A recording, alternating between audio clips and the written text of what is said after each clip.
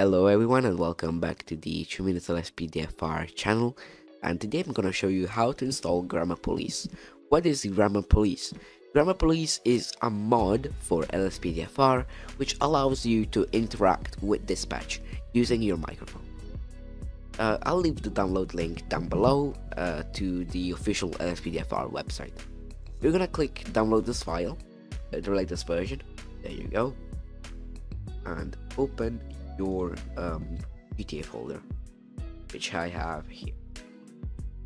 Now, you're gonna extract the Grammar Police file with WinRAR or 7-zip. You're gonna open it up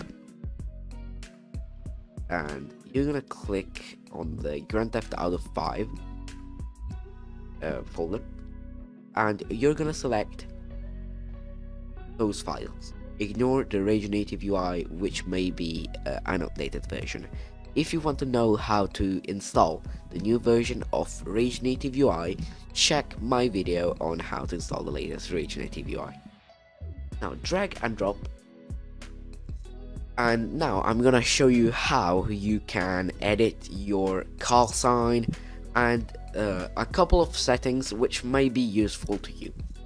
Now go into plugins your GTA 5 folder, LSPDFR, right here, if I'm not mistaken, yes, default, and here you can see um, your configurations.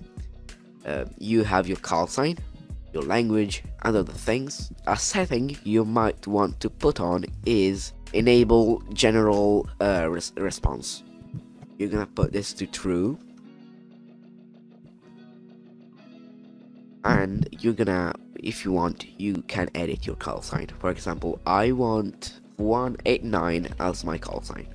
189 and that's it. You're just gonna save. And there you go. You're done. So thank you for watching. Subscribe if you want.